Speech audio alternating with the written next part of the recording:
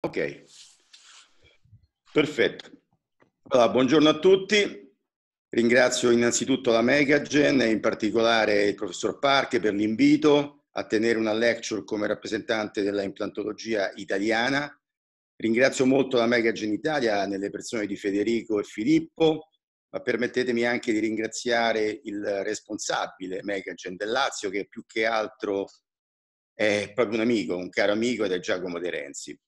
Io sono un chirurgo maxillofacciale che fa le varie attività della chirurgia maxillofacciale, ha dedicato molta passione alla chirurgia rigenerativa e voglio raccontarvi perché dopo tanti anni ho cambiato il mio atteggiamento, il mio punto di vista e perché oggi cerco di affrontare alcuni tipi di atrofie con un atteggiamento mini-invasivo. Però dobbiamo partire da un principio molto importante, cioè comprendere che noi siamo dei medici, siamo dei professionisti, abbiamo un ruolo sociale e il nostro compito è cercare di far masticare i nostri pazienti con dei denti fissi ancorati a degli impianti. E questo lo stanno dimostrando evidenze scientifiche, quindi dei lavori scientifici che stanno uscendo fuori e che stanno dimostrando come la masticazione abbia un ruolo importante nel, nello stimolare l'attività cerebrale, quindi nello stimolare il locus ceruleus. E ci sono pubblicazioni anche dei nostri gruppi italiani, in particolare il dottor Vincenzo De Cicco, che sta dimostrando come questa attività masticatoria, in particolare la riabilitazione del sesto inferiore, agisca proprio nel stimolare l'attività cerebrale. Quindi il nostro compito e ridare una masticazione ai nostri pazienti. Io ho una certa età e quindi ho vissuto un po' tutte le ere, le epoche della implantologia. Ho cominciato nel 1985. Nel 1985 noi vivevamo un periodo molto spensierato perché mettevamo, inserivamo i nostri impianti lì dove c'era l'osso. Poi nel fine anni 80, quindi inizi anni 90, è esploso il grande messaggio della implantologia protesicamente guidata, in particolare con i lavori di Dalin, di Massimo Simeon, quindi tutta l'introduzione della GBR, no? E, e, si è detto noi dobbiamo cercare non di mettere gli impianti dove è presente l'osso, ma cercare di ricostruire l'osso nel punto giusto dove vanno posizionati gli impianti dal punto di vista protesico. Per cui noi abbiamo cominciato a cercare di trovare delle soluzioni per cercare di ricostruire l'osso. Io nella mia vita dal 1993 come chirurgo maxillofacciale ho cominciato a provare delle tecniche ricostruttive e vedete che nella mia attività, eh, i numeri sono importanti, ho fatto tanta chirurgia ricostruttiva, in particolare con l'osso autologo. Ma le ho provate tutte le tecniche, con eh, periodi di esaltazione per cui ero convinto in un certo periodo della mia vita di aver trovato la tecnica giusta, per poi rendermi conto che quella tecnica che mi sembrava corretta in realtà aveva e creava dei problemi, per cui le ho veramente provate tutte, vedete dalla cresta splitting, dalla GBR, agli innesti only, al sinus lift, all'approccio laterale crestale, alla distrazione ostrogenetica, alla tecnica inlay, alla trasposizione del nervo alveolare. E il quesito che noi ci siamo posti nel corso degli anni è di capire quale di queste tecniche fosse in realtà la tecnica più giusta, ma noi non siamo in grado di dare una risposta e lo dimostrano le revisioni sistematiche di Peter Moi o le revisioni sistematiche di Marco Esposito, dove vedete che quando si vanno a comparare le varie tecniche di incremento orizzontale o verticale, in realtà non c'è una risposta che ci dica quale sia la tecnica migliore. Quindi la conclusione è che ogni specialista cerca di mettere in atto la tecnica di cui è più padrone. Quindi il primo messaggio molto banale, molto semplice, è che ci sono tante tecniche rigenerative, ma l'evidenza scientifica non ci dice quale sia la tecnica migliore. Poi, a un certo punto, dopo tanti anni di eh, esperienza di chirurgia ricostruttiva, e ve la mostrerò, e ve la mostrerò, praticamente vi, vi dirò che sono passato lentamente e progressivamente alla implantologia minimamente invasiva. La, la minimamente invasiva però ha bisogno di evidenze scientifiche, di ricerche, cercare di confrontare questo utilizzo degli impianti tiltati o degli impianti corti con quelle che erano le tecniche che in quel momento erano le tecniche più, eh, diciamo, considerate evidenti. Per cui abbiamo cominciato a fare dei, dei, lavori, delle ricerche scientifiche, in particolare degli RCT, cioè degli studi clinici randomizzati, ed in particolare con il dottor Pietro Felice sotto il controllo del professor Marco Esposito. Abbiamo cominciato a usare delle alternative all'osso autologo e abbiamo cominciato a utilizzare gli impianti corti e parlerò alla termine di, questo, di questa relazione in particolare degli impianti corti. Poi nel corso degli anni si sono aggiunti altri centri universitari come l'Università di Chieti con il professor Piattelli, l'Università di Napoli con il professor San Martino, l'ospedale di Ancona con il dottor Balercia, l'Università di Trieste con il dottor Checchi e l'Università di Lione con la dottoressa Bolle. Quindi abbiamo collaborato tutti insieme per cercare di trovare una soluzione al trattamento delle atrofie. Negli ultimi anni ancora ci siamo sempre più convinti che si debba non più parlare di implantologia protesicamente guidata, ma di implantologia eticamente guidata. Il nostro paziente non deve essere sottoposto a interventi ricostruttivi che comportino 10, 15, anche più mesi di attesa per riuscire ad arrivare a una riabilitazione protesica. Per cui ci stiamo sempre di più avvicinando agli impianti ultra short e agli impianti zigomatici. Tornando all'implantologia protesicamente guidata, vi voglio un po' raccontare quello che è stato il mio percorso nel, nel corso di questi quasi 30 anni di chirurgia ricostruttiva. E diciamo io mi sono essenzialmente dedicato all'utilizzo dell'osso autologo e queste tecniche ricostruttive che ho detto adesso stanno un pochino, eh, vengono un pochino rivisitate nell'ottica dell'implantologia mini-invasiva, devono comunque essere considerate ancora necessarie nelle aree estetiche, perché il compito nostro è di ricostruire osso in un'area estetica dove poi dobbiamo posizionare l'impianto in posizione corretta. Vedete, questa è un'atrofia di un dente singolo dove noi abbiamo posizionato un blocco di osso fissato con due viti di osteosintesi perché vogliamo che dopo quattro mesi ci siano almeno due millimetri di osso vestibolare a protezione del nostro impianto. Oggi si sta anche molto discutendo se sia importante avere questi 2-3 mm di osso vestibolarmente all'impianto o sia anche importante avere una minore quantità di osso vestibolare ma avere una corretta quantità di osso connettivo e credo che questa sia la soluzione attuale. Vedete, questa è la situazione prima del trattamento e questa è la situazione del controllo dopo 5 anni e questo è il controllo dopo 12 anni. Vedete come la riabilitazione nella zona dell'incisivo centrale di destra ha creato quegli spessori corretti e quel mantenimento dei tessuti ossei e molli che mantengono l'estetica e, e mantengono la salute dell'impianto. Questo è un altro caso, questa è una eh, paziente giovane che aveva perso per un evento traumatico il gruppo incisivo e vedete che avrebbe osso per espandere o per posizionare l'impianto lì dove c'è quel residuo di osso, ma sicuramente non avremmo un risultato estetico accettabile. Per cui a quel tempo io pensai che fosse corretto fare degli innesti con dell'osso prelevato dalla cresta iliaca. Oggi probabilmente userei una tecnica ricostruttiva diversa. E vedete che la, gli impianti vengono posizionati essenzialmente in osso rigenerato. Però ho capito anche nel corso degli anni che la riabilitazione ossea non è sufficiente, dobbiamo aggiungere i tessuti molli, quindi vedete che abbiamo utilizzato un innesto libero di connettivo per creare quei volumi tissutali che poi ci consentono di condizionare i tessuti con una protesi provvisoria e avere alla fine un risultato estetico accettabile, ma cosa più importante, anche una stabilità nel tempo. Qui abbiamo un follow-up a molti anni.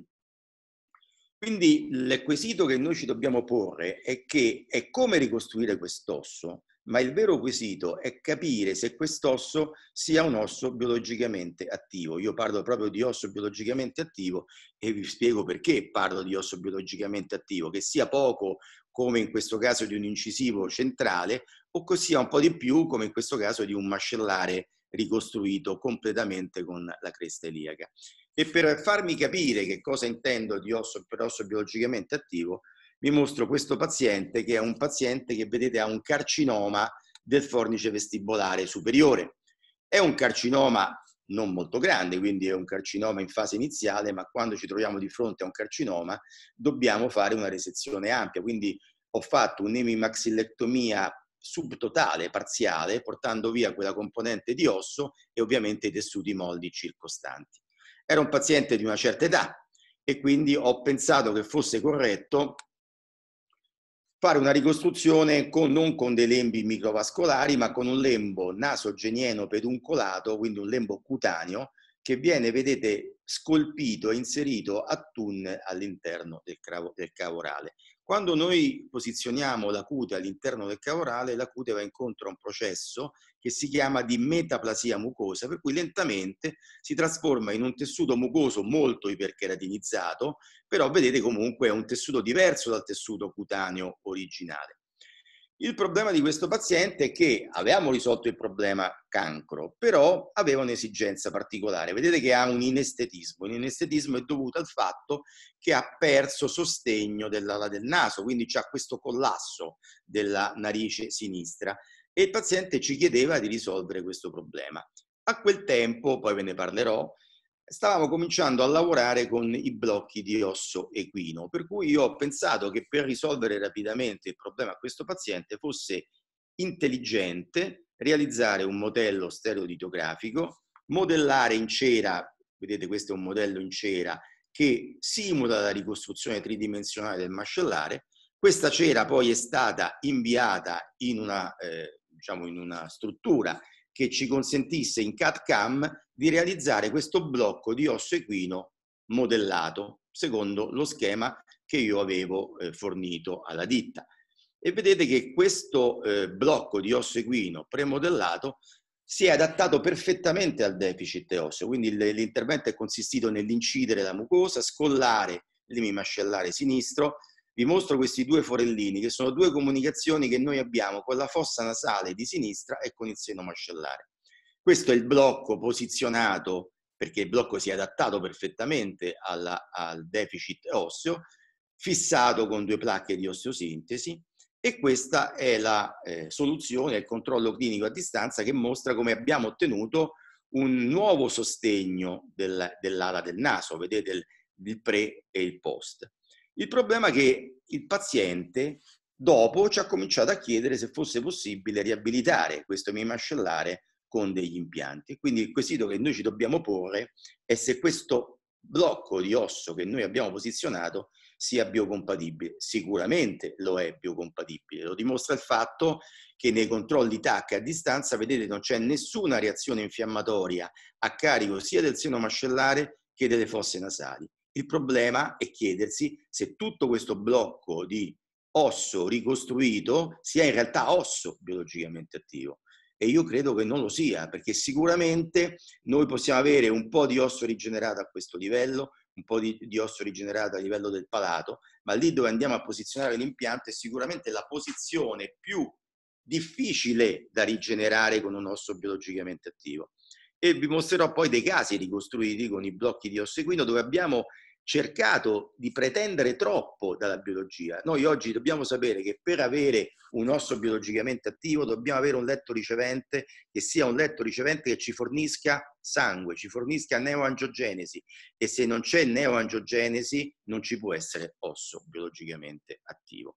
Vedete, questi sono due mascellari ricostruiti con due tecniche differenti. A sinistra questo è un blocco di osso autologo, questo a destra è tutto un mascellare ricostruito con dei blocchi di osso equino. Apparentemente abbiamo tanto volume, ma non sappiamo quanto in realtà abbiamo di componente ossea attiva nella, nel caso di, eh, di destra. Allora, parliamo di, quindi di innesti a blocco. Vi ripeto, io ho cominciato tanti anni fa e essenzialmente ho iniziato utilizzando sia l'osso a prelievo intraorale che l'osso a prelievo extraorale. L'osso a prelievo intraorale può essere prelevato dalla sinfisi, come in questo caso, o dal ramo, come in quest'altro caso. Avete visto che nell'osso prelevato dalla sinfisi abbiamo una componente corticale associata a una bellissima componente di midollare.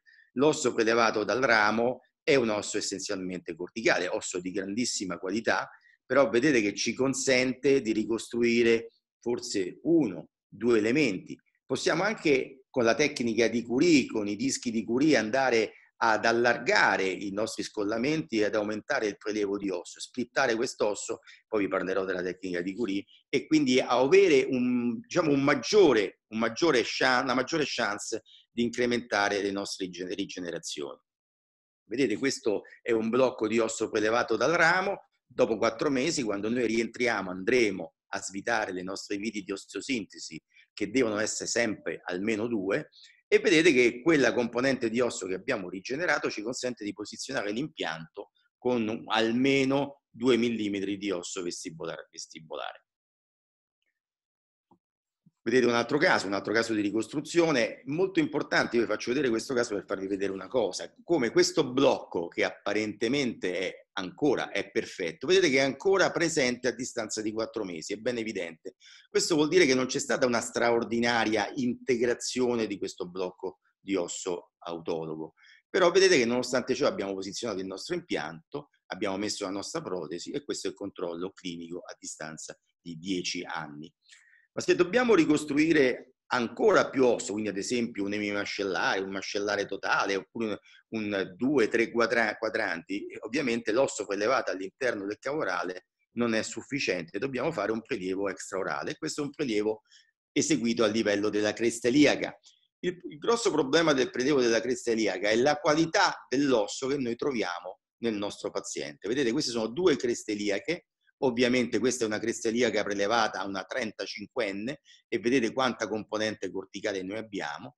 Questa è una cresta iliaca prelevata a una paziente di 70 anni che si piega addirittura sotto le nostre mani. Voi capite che noi avremo due risultati rigenerativi diversi a seconda della qualità di osso che noi troviamo a livello della cresta iliaca.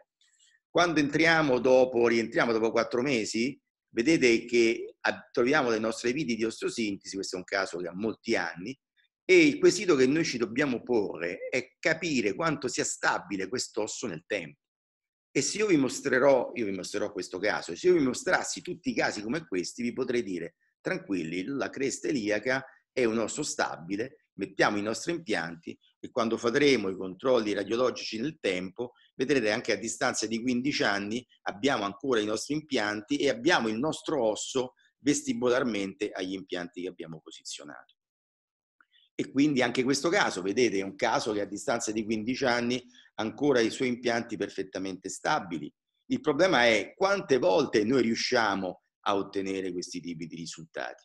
Vi faccio vedere questo caso. Questa è una paziente una paziente che aveva un'atrofia del terzo quadrante, ricostruita con un blocco prelevato dalla cresta iliaca. Ovviamente facciamo tutto ciò che è necessario fare, ma lo facciamo ancora oggi se facciamo una tecnica alternativa. Quindi detendiamo i nostri tessuti, fissiamo il nostro innesto a blocco, preservando ovviamente il nervo mandibolare, mettiamo delle chips di osso autologo negli spazi chiamati morti e andiamo a chiudere e aspettiamo ovviamente il tempo necessario che questo osso ci dia eh, un osso stabile per posizionare i nostri impianti, quindi aspettiamo almeno quattro mesi.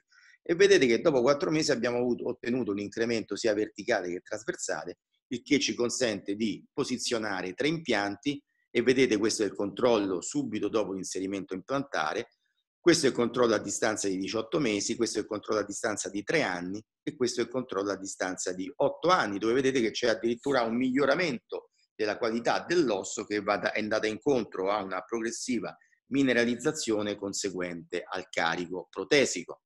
E questo è un controllo a distanza di 10 anni, febbraio 2010.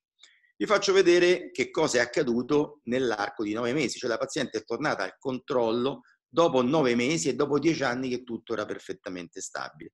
E vedete che nell'arco di nove mesi ha sviluppato una perimplantite. E tutto questo tessuto noi lo possiamo definire un'epudite per implantare. Cosa fare in questi casi?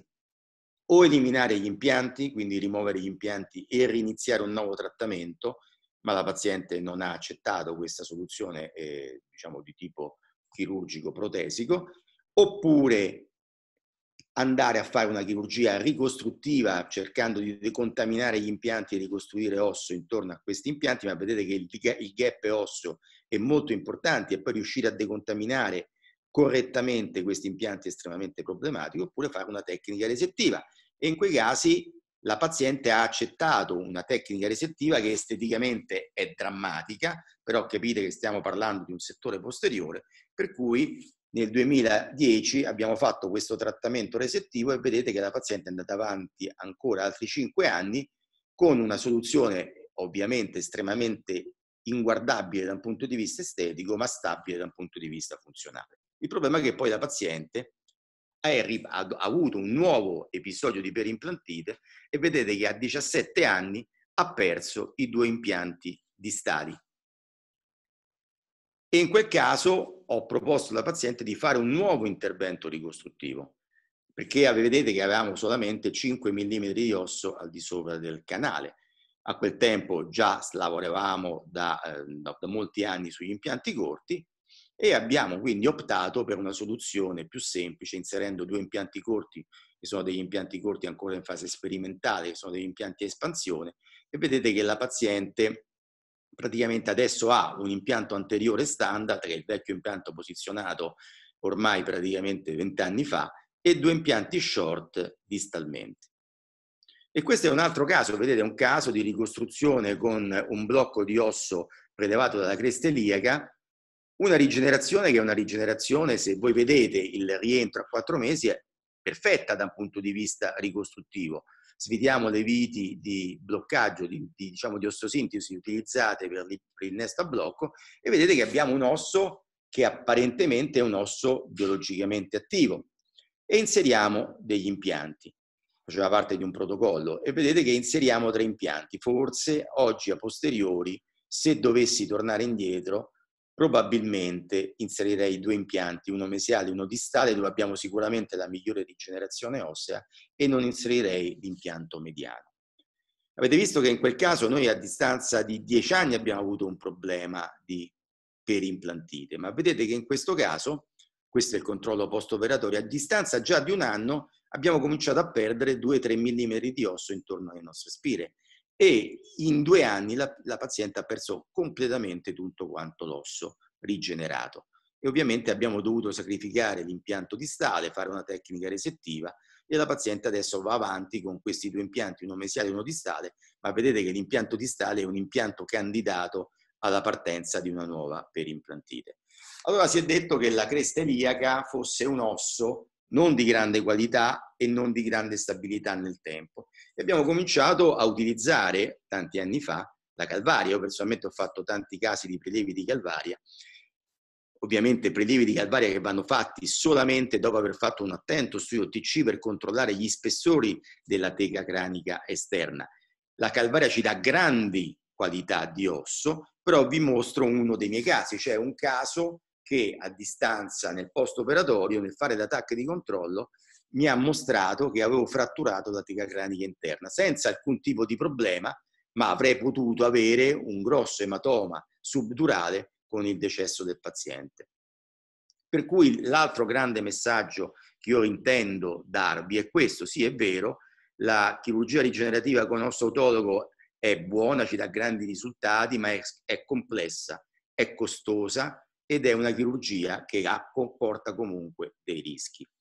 Allora forse ha ragione Curie. Curie è un chirurgo libanese che lavora in Germania che preferisce utilizzare sempre e solamente l'osso a prelievo intraorale.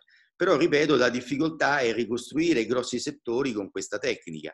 Vedete, si prende l'osso a livello dell'angolo, si splitta, si fa questa ricostruzione che è diciamo una ricostruzione a box, posizionando queste lamine vestibolari e palatali in questo spazio si vanno a inserire delle chips di osso autologo. A distanza di quattro mesi si rientra per inserimento implantare. Vi faccio vedere un caso proprio, un, uno dei miei casi di riabilitazione di mandibola posteriore utilizzato con, realizzato con questa tecnica, quindi prelievo a livello dell'angolo controlaterale, split dell'osso prelevato a livello del ramo, una lamina viene posizionata orizzontalmente, vedete, fissata sul picco osso mesiale, sul picco osso distale, fissata con due viti di osteosintesi.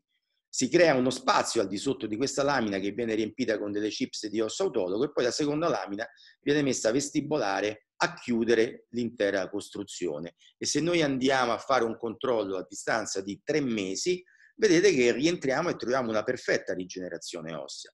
Abbiamo fatto anche qui delle istologie, i lavori di Fuad Curie sono straordinari e lui ha una casistica enorme con dei risultati importanti, però io ritengo che sia una tecnica biologicamente bellissima, però estremamente difficile, quindi non praticabile da tutti nei propri studi. Nel corso degli anni un'altra tecnica che lì per lì sembrava veramente la tecnica che risolvesse tutti i nostri problemi, una tecnica, un'altra tecnica è la tecnica osteodistrattiva. La tecnica osteodistrattiva che cosa ci consente di fare? Ci consente di, vedete, fare un'incisione vestibolare, quindi non crestale, perché vogliamo lasciare comunque del periosteo a contatto della cresta ossea presente, residua. Poi andiamo a disegnare un tassello di osso che prima di scolpirlo completamente dobbiamo testare con un osteodistrattore. Dopodiché, vedete, cominciamo a disegnare questo tassello di osso utilizzando o delle fese rotanti, poi con l'introduzione della chirurgia piezoelettrica, la biologia piezoelettrica, vedete che posizioniamo il tassello prima di staccare completamente l'osso, poi stacchiamo completamente l'osso, dopodiché riandiamo a riposizionare il distrattore alveolare. Lo testiamo a livello intraoperatorio e poi lo riportiamo in posizione. Aspettiamo otto giorni, dopodiché si attiva questo distrattore che porta su come un ascensore quel tassello di osso. Il problema è il controllo del vettore. Vedete che questo tassello di osso si è lingualizzato e quindi quando andiamo poi a mettere i nostri impianti abbiamo un'implantologia che è un'implantologia completamente spostata verso il versante linguale. Per cui avevamo anche lavorato con una ditta italiana per cercare di realizzare un distrattore a controllo del vettore. Vedete che c'è una doppia cerniera che consente a questo eh, distrattore di spostare il tassello osso vestibolare. Ma vedete quanto è ingombrante questo, eh, questo distrattore. Per cui è una tecnica che comunque molto bella, anche questa biologicamente estremamente razionale, ma non è una tecnica accettata e personalmente credo che sia corretto dire che debba essere sostituita da un'altra tecnica, che è la tecnica a sandwich. Tecnica a sandwich che è stata introdotta nel 76 da Scheffler e in Italia abbiamo due grandi esperti che sono il professor Marchetti e il professor Pietro Felice di Bologna che vedete hanno fatto tanti casi, io anch'io mi sono appassionato a questa tecnica. Il problema di questa tecnica è che dobbiamo staccare il tassello, sollevarlo contestualmente all'intervento e nei casi che io feci inizialmente andava a interporre un blocco di osso autologo. Ovviamente se noi dobbiamo fare questa tecnica e poi andare a fare un prelievo di cresta iliaca per portarla al termine, andiamo a complicare le cose. Devo dire che eh, tanti anni fa ormai il dottor Pietro Felice, attualmente professor Pietro Felice, ha fatto uno studio molto bello in cui, split mouth, in cui da un lato ha fatto questa tecnica andando a interporre un blocco di osso autologo e dall'altro lato è andato a interporre un blocco di osso eterologo, inizialmente suino e poi successivamente equino.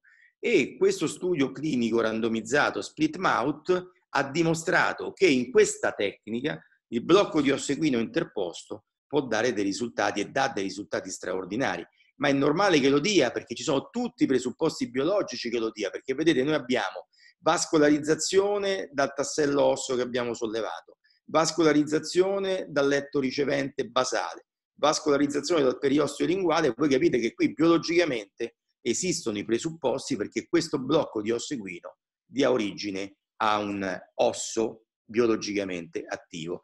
Vi faccio vedere questa paziente, questa è una mia paziente, dove vedete che io ho posizionato due placche per eh, sollevare questo tassello di osso e dove ho interposto un blocco di osso equino. Vi vorrei far notare una cosa, che per eh, posizionare e stabilizzare la placca di stade ho dovuto modellare con quest questo scalino. E voi vedete che qui io non metto alcun tipo di biomateriale, quindi io lascio eh, il blocco, il tassello in questo modo, metto il blocco di osso equino e chiudo il lembo a chiudere il tassello. E vedete che quando rientro dopo quattro mesi io trovo dell'osso al di sopra della placca. Eppure io qui non ho messo assolutamente nulla. Che cosa dimostra questo? Che qui si è formato un film di coagulo stabile che poi nell'arco di quattro mesi ha dato origine a dell'osso rigenerato. Quindi capite che non servono i biomateriali per rigenerare l'osso, ma serve il coagulo, serve il sangue. Il biomateriale ha lo scopo di stabilizzare il coagulo, quindi il biomateriale ha una grande funzione, ma non è dal biomateriale che si forma osso.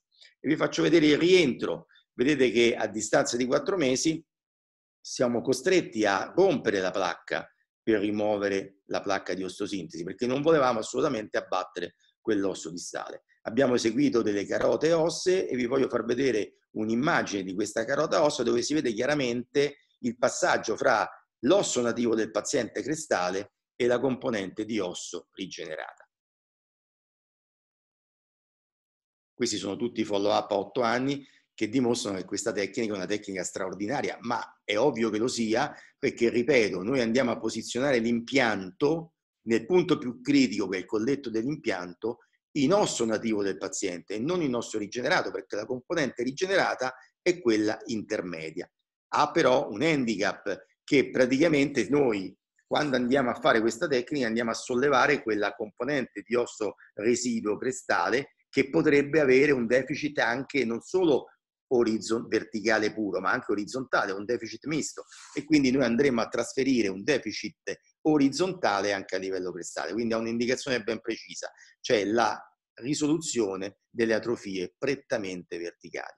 La tecnica Inlay può essere anche eh, eseguita e utilizzata nella correzione di un'atrofia del mascellare. Vedete, questo è un mascellare atrofico e una paziente in terza classe scheletrica. È stata fatta una Leforto 1 con degli innesti interposizionali e vedete che eh, questi innesti interposizionali a distanza di quattro mesi ci hanno dato la possibilità di inserire degli impianti con una barra e con una protesi subara e questo è un controllo a 10 anni. Quello che vi dicevo prima, vedete queste sono due atrofie differenti, questa è un'atrofia verticale pura con una, con una, buona componente trasversale, mentre qui abbiamo un'atrofia mista. Se io vado a fare una tecnica Inlay su questa paziente, questa atrofia diciamo, trasversale a livello crestale me la vado a trasferire più in alto, ma resta comunque un'atrofia trasversale. Vedete, qui ho fatto una tecnica inlay su un mascellare dove non c'era l'indicazione a fare una tecnica inlay perché avevo un'atrofia orizzontale a livello crestale, tant'è vero che nel rientro sono stato costretto ad associare poi una GBR. Quindi noi dobbiamo capire che il nostro compito di chirurghi che abbiamo seguito questo percorso nel corso degli anni, noi chirurghi dobbiamo capire qual è la soluzione più giusta e più corretta per fare una chirurgia semplice al nostro paziente, creando meno danni e meno sofferenze al nostro paziente. Allora a un certo punto abbiamo pensato che la soluzione potesse essere provare a sostituire l'osso autologo con un blocco di osso equino, quindi non andare a fare più prelievi di osso a livello extraorale, ma utilizzare questi blocchi di osso equino. E ovviamente è una tecnica molto più semplice perché voi capite che se io prendo un modello stereolitografico, prendo questi blocchi di osso equino e prima di addormentare la paziente vado a, modellare questi blocchi sul modello stereolitografico, nel momento in cui ho ottenuto quello che ritengo una corretta modellazione di questi blocchi, posso addormentare la paziente, eseguire praticamente con la stessa tecnica che noi abbiamo utilizzato per i blocchi di osso autologo, scollare i miei lembi e andare a posizionare tutti questi blocchi esattamente come posizionavamo i blocchi di osso autologo. Detendere i lembi, posizionare una membrana a protezione del granulare se serve e chiudere i nostri tessuti e aspettare ovviamente non più eh, no, 4 mesi ma aspettare nove mesi e vedete che in questo caso la paziente ha avuto una sua riabilitazione implantare e vi mostro quest'altro caso, vedete, di rientro dopo nove mesi, dopo aver posizionato questi due blocchi di osso equino in area premolare. Vedete che abbiamo fatto anche delle istologie, istologie estremamente confortanti. E questi ci hanno spinto a portare avanti un protocollo di ricerca per confrontare pazienti trattati con blocchi di osso autologo con pazienti trattati con blocchi di osso equino. Vedete come sanguina il blocco eh, l'osso rigenerato dal blocco di osso equino. Abbiamo fatto istologie proprio in questi punti e vedete il lato controlaterale. E anche qui abbiamo avuto una buona rigenerazione trasversale e abbiamo potuto posizionare i nostri impianti. E vedete che il controllo a 5 anni ci mostra una buona stabilità del risultato. Il problema è che nel nostro studio clinico randomizzato confrontando osso autologo con osso equino abbiamo cominciato a vedere in alcuni casi dei problemi. Quindi il quesito è, avremo sempre lo stesso risultato implanto protesico? E vi mostro questo caso che era una paziente giovane di 41 anni, ricostruita tutta con blocchi di osso equino, tutto perfettamente stabile fino all'inserimento a implantare e fino alla scopertura degli impianti con l'inserimento dei pilastri di guarigione. Ma vedete che nella fase di guarigione del, dell'approfondimento di fornice e dell'inserimento dei pilastri di guarigione, a distanza di 30 giorni la paziente torna, la paziente viveva in Inghilterra, torna con questa grave esposizione di quest'osso equino. La paziente in Inghilterra e si ripresenta, perché doveva tornare per motivi familiari in Inghilterra, si ripresenta dopo altri dieci giorni. Guardate come si è ulteriormente esposto quest'osso. Perché si è esposto? Perché questo non è osso biologicamente attivo, questo non è osso, questo è un tessuto di sostegno che non ha niente di biologico al suo interno. E quindi ci dobbiamo proprio dobbiamo riflettere su questa nostra esperienza e capire che i blocchi di ossequino non, non, hanno la stessa efficacia della tecnica GBR, poi vi parlerò della tecnica GBR, nonostante io pensassi che potessero essere, essere assimilati a una tecnica GBR. Allora, avete visto la paziente di prima riabilitata con la tecnica di, di, di Leforte 1 con innesti interposizionali? Avete visto il, la paziente riabilitata con i blocchi di ossequino? Allora, io dico che nei mascellari fortemente atrofici dove non abbiamo i presupposti biologici per avere una corretta rigenerazione ossea nel tempo, io personalmente credo che sia più eticamente corretto in questi pazienti trovare delle soluzioni alternative. Noi stiamo lavorando molto sugli impianti zigomatici che ci consentono di dare alla paziente la possibilità di avere una protesi e anche esteticamente valida nell'arco di 24-48 ore. Vedete, questi sono tutti pazienti che hanno il loro bel sorriso grazie agli impianti zigomatici. Vi voglio parlare però adesso di un'altra tecnica, perché poi abbiamo le atrofie settoriali. Vi voglio parlare della split crest technique. La split crest technique è una tecnica molto valida perché voi capite che quest'osso che noi andiamo a splittare e a trasferire vestibolarmente è osso nativo del paziente. Quindi concettualmente è come la tecnica Inlay. Il problema è che io credo che questa tecnica espansiva possa funzionare bene nel mascellare superiore ma non nella mandibola. E vi spiego perché. Perché secondo me è improponibile andare a espandere un osso mandibolare che abbia una corticale vestibolare estremamente spessa. E allora io nel 2006 lessi un articolo di un certo Enis Lidis che proponeva di eseguire questa tecnica in due tempi, cioè vale a dire un primo intervento con un lembo a spessore totale dove si va a disegnare le, il tassello osseo che dovremo poi espandere a distanza in cui eseguiremo non soltanto le corticotomie mesiali distale e cristale, ma anche la corticotomia basale, eseguita esattamente quando, dove, a che altezza, 3 mm più su di quello che è la lunghezza dell'impianto che noi andremo a inserire. Quindi se devo inserire un impianto da 11 mm, la corticotomia basale la eseguirò a 8 mm. Richiudiamo i lembi, aspettiamo 5 eh, settimane, perché? Perché vogliamo che il periosseo ricrei la sua vascolarizzazione con il tassello di osso, ma non vogliamo neanche dare il tempo a quelle corticotomie di creare un callo osseo stabile, per cui a distanza di 5 settimane eseguiamo un rientro, il rientro che prevede un'unica incisione crestale senza svincoli, uno scollamento solo eventualmente linguale, ma mai uno scollamento vestibolare, e vedete che ritroveremo la corticotomia crestale, a quel punto inseriremo uno scalpello all'interno di questa corticotomia e andremo a fare una progressiva espansione. Perché si espande? E avremo non soltanto una vestibolarizzazione del tassello nella parte crestale, ma una vestibolarizzazione del tassello anche nella componente basale, quindi una trasposizione corporea di tutto il tassello. E vedete che l'impianto viene stabilizzato a livello apicale e sarà l'impianto stesso che manterrà questo spazio. Possiamo anche non mettere del biomateriale all'interno, in questo caso io ho inserito del biomateriale, ho messo una membrana, ma capite che lì ci sono tutti i presupposti biologici perché lì all'interno di, di quei due tasselli di osso, di quelle due corticali, si formi osso rigenerato. Vedete, questo è un controllo a distanza di 5 anni. E questi sono una serie di casi, vedete esattamente qui dove era presente la corticotomia basale, e vedete che a distanza di tempo avremo un controllo e abbiamo proprio una trasposizione corporea del tassello. Queste sono due tagli, tac eseguiti alla stessa altezza. E vedete questo è un controllo clinico a 10 anni. E vedete anche qui in questa TAC si vede proprio chiaramente che il tassello osseo vestibolare ha subito una trasposizione corporea reale.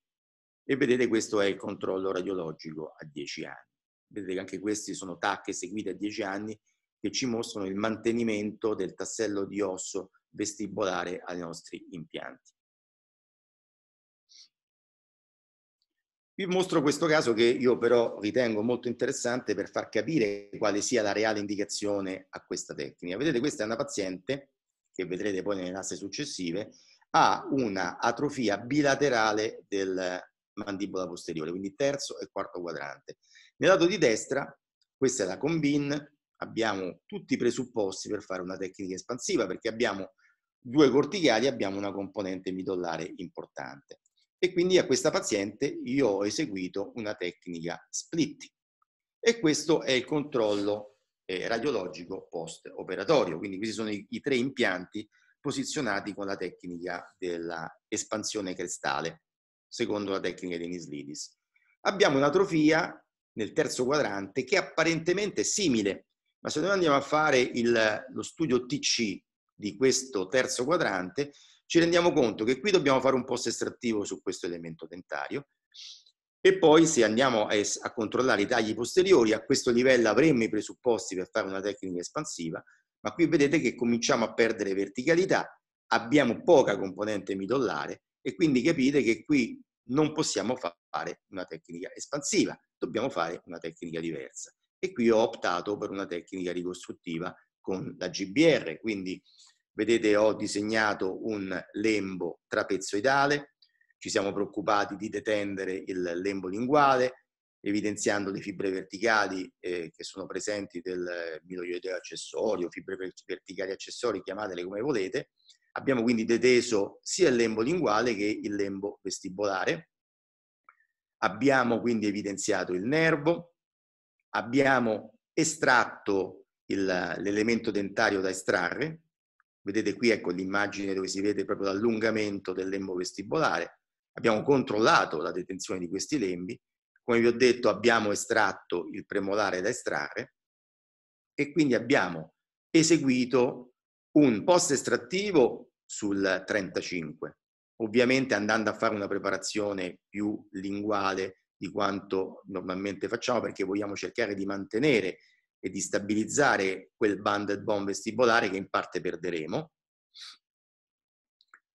Questi impianti per concetto vanno messi un millimetro sotto cresta e vedete che negli altri due siti implantari andiamo a inserire i nostri impianti e ci rendiamo conto che qui dobbiamo crescere orizzontalmente ma anche crescere verticalmente perché vi ho detto che questi impianti concettualmente è giusto posizionarli almeno un millimetro, un millimetro e mezzo sotto cresta. Recuperiamo osso autologo con un safe scraper, andiamo a prendere la nostra eh, membrana non riassorbibile rinforzata in titanio, la modelliamo, la fissiamo lingualmente con dei chiodini, oggi utilizzeremo delle viti, andiamo a sollevare la nostra membrana, andiamo a fare un refreshing dell'osso, non esiste evidenza scientifica che queste perforazioni ci diano qualcosa di più, ma io penso che comunque attivino il RAP e quindi attivino tutto quanto il nuovo metabolismo osseo. Misceliamo del granulare, con, del granulare di osso eterologo con l'osso autologo che abbiamo prelevato e andiamo a, a posizionare il nostro eh, mix di autologo e biomateriale sia lingualmente che crestalmente che vestibolarmente. Voglio far notare una cosa, che nel fissare la membrana si crea come un sottosquadro al di sotto della membrana. E poi ovviamente andiamo a fare la nostra sutura che possiamo anche eh, eh, diciamo, andare avanti perché è una sutura che deve essere vertente, fortemente sigillante. E vedete questo è il controllo radiologico post-operatorio, quindi avremo tre impianti a destra posizionati con la tecnica espansiva e tre impianti a sinistra posizionati con la tecnica GBA. E questo è il, è il, controllo clinico, vedete il pre e il post, e vi rendete conto di quanto siamo riusciti a crescere trasversalmente, perché con la tecnica GBR noi cresceremo trasversalmente in base a quella che è la nostra necessità, la nostra richiesta. Modelleremo, modelleremo la membrana per crescere trasversalmente 10-12 mm e abbiamo corretto tutta quanta la verticalità. E vedete, quando noi rientriamo dopo nove mesi, innanzitutto vi faccio notare come si sia formato osso vestibolarmente alla membrana, addirittura siamo costretti, vedete qua, a rimuovere osso per andare a scoprire gli iodini, eppure qui non abbiamo messo assolutamente del biomateriale. Che cosa vuol dire questo? Che si è formato osso soltanto dal coagulo. Andiamo a rimuovere la membrana, come vi ho detto abbiamo dovuto togliere un po' di quell'osso per poter togliere la membrana e vedete che anche per andare a scoprire gli impianti siamo stati costretti a fresare per rimuovere tutto quell'osso che si era formato al di sopra degli impianti. Quindi la tecnica GBR è una tecnica che l'evidenza scientifica ci ha dimostrato che funziona, basta che noi si rispettano tutte le regole necessarie per eh, mettere in atto questa tecnica. Però che cosa ho voluto fare? Poi un confronto fra lo splitting e la GBA, quindi il lato destro con il lato sinistro. Quindi già vedete che dove abbiamo fatto uno splitting, ovviamente avevamo 3 mm di osso, 3 mm e mezzo di osso, abbiamo inserito degli impianti larghi 4, avremo massimo che possiamo ottenere un incremento di, diciamo, di quei 4 mm dei nostri impianti, quindi 7-8 mm di, di trasversalità. Dove abbiamo fatto la tecnica GBR, noi abbiamo una trasversalità che è decisamente maggiore. Non abbiamo potuto correggere la verticalità dove abbiamo fatto la tecnica splitting, mentre abbiamo potuto correggere la verticalità con la tecnica GBR. Questi sono eh, i vari due quadri, destro e sinistro, dopo l'inserimento della protesi provvisoria, perché faremo un carico progressivo. Questo è il tempo zero, il controllo radiologico al tempo zero.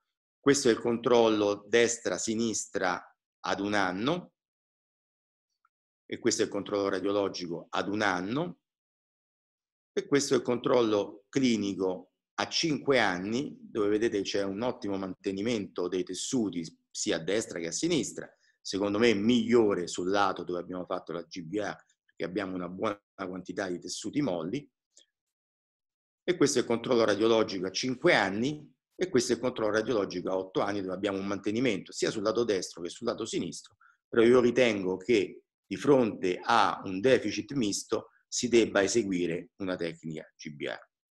Quindi parliamo della tecnica GBA rapidamente. Vi ho parlato di una membrana di tipo non riassorbibile e vi faccio vedere eh, questo video dove avete visto che nel caso precedente noi abbiamo inserito gli impianti contestualmente alla rigenerazione. In questo caso non c'erano i presupposti per poter stabilizzare un impianto e quindi si deve fare una tecnica a due tempi, quindi si chiama il two-stage approach.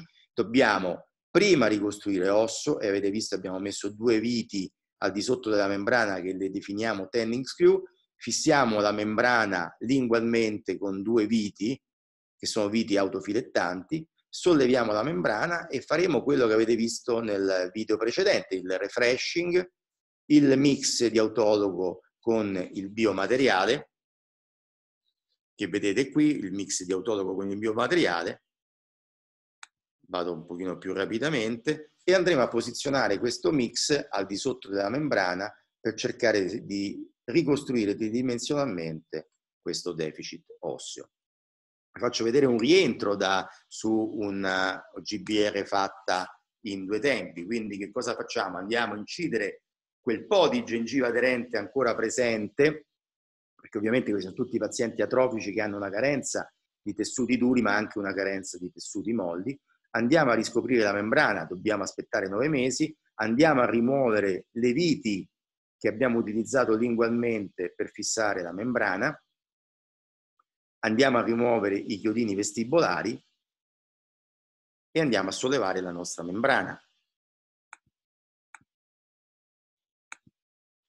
E che cosa troviamo al di sotto? Troviamo del tessuto neoformato, che può essere in parte coperto da uno strato di connettivo, ma questo strato di connettivo delle volte c'è, delle volte non c'è. Vedete in questo caso c'è un, veramente una scarsa quantità di tessuto connettivo, abbiamo un osso duro che non consideriamo ancora un osso altamente biologicamente attivo, dobbiamo vedere addirittura fresare per andare a trovare le training screw, perché quello è ancora un osso immaturo, dobbiamo considerarlo un baby bone, quindi dobbiamo aspettare che questo osso finisca di maturare, però nel frattempo andiamo a inserire gli impianti.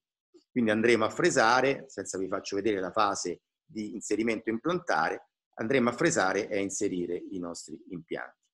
Così nella mandibola come nel mascellare superiore. Vedete, questo è un rientro dopo nove mesi di un mascellare che veniva da un esito grave di sinus lift e di sinusite, ricostruito con la tecnica GBR. E vedete che anche qui dobbiamo rimuovere le tendine screw e adesso avremo tutta questa quantità di osso per poter inserire i nostri impianti. Non ho parlato di gengiva aderente e vi faccio vedere quanto sia importante invece la gengiva aderente quando si fa questo tipo di chirurgia. Quindi vi faccio rivedere un caso nuovo di GBR, di GBR eseguito con la tecnica one stage, quindi con l'inserimento implantare. Quindi abbiamo inserito i nostri impianti, ovviamente i nostri impianti in parte sono stabilizzati nell'osso, in parte hanno le loro spire esposte, metteremo questo mix di autologo e biomateriale a copertura e metteremo la membrana a chiudere. Aspettiamo dopo nove mesi e vedete dopo nove mesi, in realtà in questo caso scusate ho fatto un errore, è un caso dove io sono rientrato dopo sei mesi perché ho voluto fare una cosa che adesso faccio in tutti i casi di GBR one stage perché nella GBR two stage rientro dopo nove mesi per l'inserimento implantare. Nella GBR one stage io rientro dopo sei mesi per togliere la membrana, non vado assolutamente a scoprire gli impianti, ma vado solamente a mettere una membrana di collagene o di PRF a proteggere questo tessuto osseo che voglio che ancora maturi. Per cui dopo altri tre mesi, quindi comunque aspetto nove mesi, vado a fare la scopertura degli impianti e facciamo in questo caso un lembo a spessore parziale perché vogliamo creare gengiva aderente. Vedete che poi incidiamo il periosteo e andiamo a scoprire gli impianti. Anche in questo caso, per scoprire gli impianti, dobbiamo rimuovere osso, il che dimostra la grande capacità di questi, di questi impianti di avere una perfetta integrazione anche in osso rigenerato. Facciamo un approfondimento di fornice e qui vi mostro eh, una particolarità, nel senso che io qui ho fatto un innesto di gengiva libera sui primi due impianti mentre sul terzo impianto ho fatto un approfondimento di fornice senza fare alcun tipo di innesto. E vi vorrei far notare la grande differenza di guarigione dei tessuti molli lì dove è stato fatto l'innesto rispetto al sito dove, dove, non è stato fatto alcun tipo di innesto. E voi capite quanto sia importante fare l'approfondimento e mettere un innesto libero. Questo è un controllo clinico e radiologico a 5 anni. La stessa GBR può essere eseguita con delle membrane anche non eh, di quelle riassorbibili. Vedete, questo è un caso, vi faccio vedere solo la parte finale, dove praticamente nella zona anteriore, dove avevo un deficit nell'area premolare, ho utilizzato questo mix di autologo e biomateriale, ma non ho utilizzato una membrana di tipo non riassorbibile, ma una membrana di tipo riassorbibile, fissata con degli iodini. Vi faccio vedere il rientro, vedete sinus lift, inserimento degli impianti nella zona premolare, mix, membrana eh, riassorbibile a copertura e questo è il controllo alla scopertura a distanza di sei mesi. Vedete come si è formato osso nella zona vestibolare.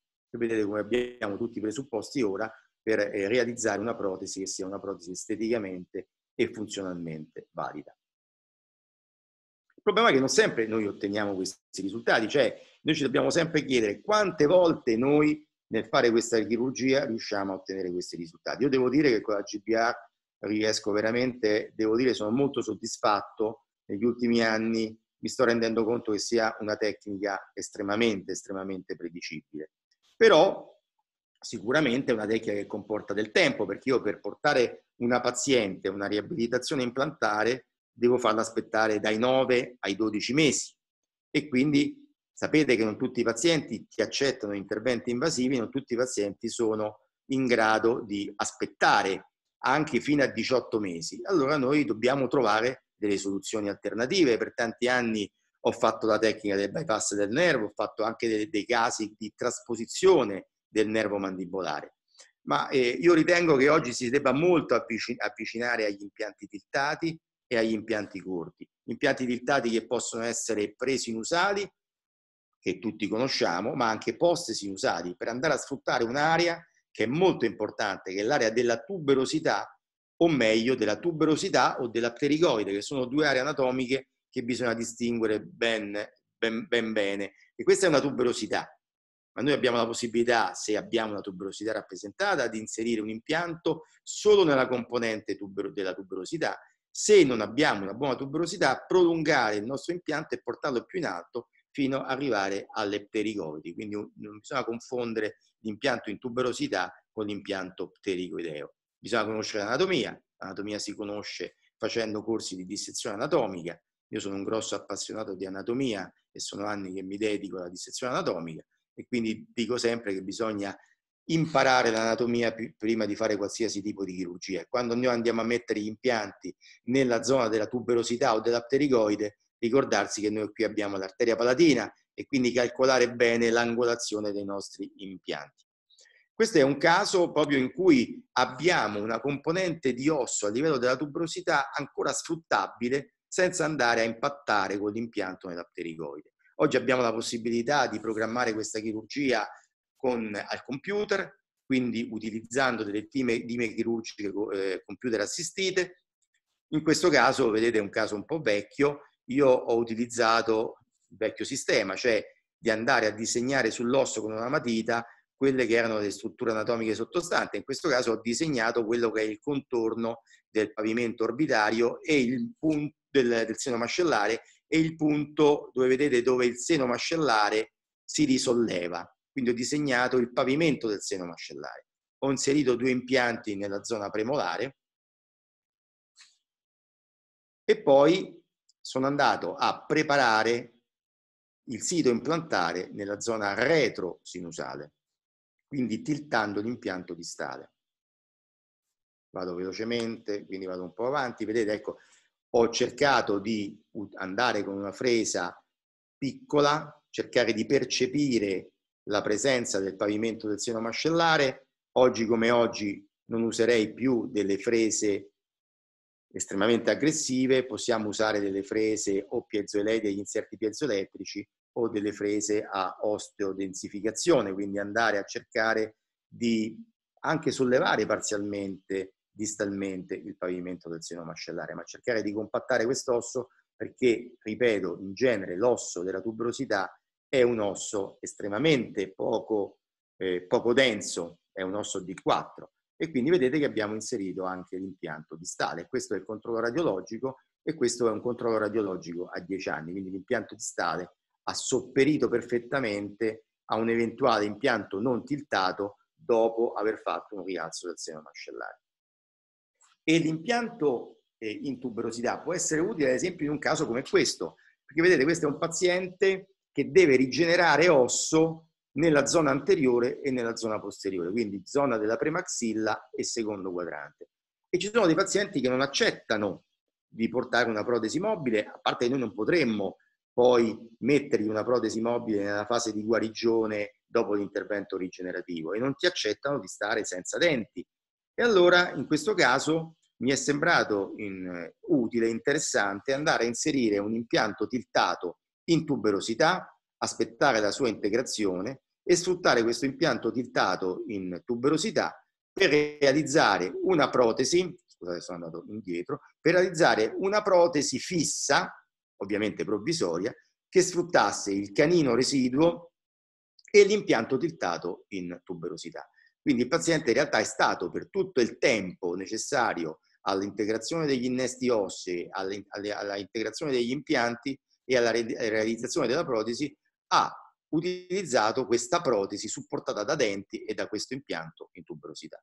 Questo paziente, dopo aver eh, aspettato l'integrazione dell'impianto in tuberosità, ho eseguito degli innesti a blocco con la cresta iliaca, cosa che non faccio più ormai da un po' di anni, però in questo caso abbiamo fatto un sinus lift, innesti a blocco dalla cresta iliaca e vedete che a distanza di quattro mesi abbiamo ottenuto una buona rigenerazione ossea che mi ha consentito di inserire altri quattro impianti in premaxilla e nel secondo quadrante e quindi realizzare poi una protesi che fosse una protesi eh, supportata da impianti totalmente da impianti lasciando il canino isolato e ovviamente avendo questo impianto una perfetta integrazione l'ho inglobato nella protesi eh, supportata dai due impianti in zona secondo quadrante e impianto in tuberosità. Chiudo e concludo con gli impianti corti perché nell'ambito delle soluzioni eh, implantari protesiche non possiamo più ormai eh, non considerare gli impianti corti. Noi da anni stiamo facendo degli studi clinici e devo dire anche evidenziati dalle revisioni sistematiche della letteratura e in particolare da, da una meta-analisi fatta e presentata dal gruppo di Nissan al congresso di Stoccolma del 2015 dove sono stati presi in considerazione i nostri studi e vedere che sono studi che si sono concentrati sull'utilizzo di impianti di 6 mm e 6, poi di impianti lunghi 5 mm, impianti e larghi 6, impianti 5 mm e larghi 5, adesso stiamo lavorando con degli impianti larghi 4 mm. Tutti questi studi in cui abbiamo confrontato impianti corti paragonati a impianti standard in osso rigenerato ci stanno dando grandi soddisfazioni e grande evidenza scientifica che l'impianto corto comunque addirittura perde meno osso crestale di quanto non lo perda un impianto standard in osso rigenerato. Vedete, questo è un caso split mount dove abbiamo fatto un sinus lift nel lato sinistro e abbiamo messo impianti corti nel lato destro e questo è un controllo a 8 anni. Questo è, è, è un, quello era un impianto largo 6 e alto 5 e qui invece è uno studio clinico che noi abbiamo fatto utilizzando degli impianti la, la, alti 5 e larghi 5, impianti ad esagono esterno, vedete, utilizzati per eh, riabilitare una mandibola posteriore. Vi vado rapidamente, vedete questo è un controllo a 10 anni dove c'è una perfetta stabilità del, dell'impianto e della protesi a livello crestale. Quindi io direi che possiamo anche concludere questa relazione dicendo che noi dobbiamo avere tante frecce al nostro arco, pensare alla chirurgia rigenerativa, capire qual è la tecnica migliore per fare una tecnica rigenerativa. E oggi io ritengo che la GBR sia la tecnica più predicibile e meno invasiva, però sapere che esistono delle soluzioni alternative mini invasive come possono essere gli impianti corti, gli impianti tiltati e lo sfruttamento della, della tuberosità. Io vi ringrazio, questa è la mia mail, per qualsiasi necessità mi potete contattare, sono a vostra disposizione e termino sempre ringraziando il professor Park e la Megagen internazionale e la Megagen Italia per lo spazio che mi ha concesso.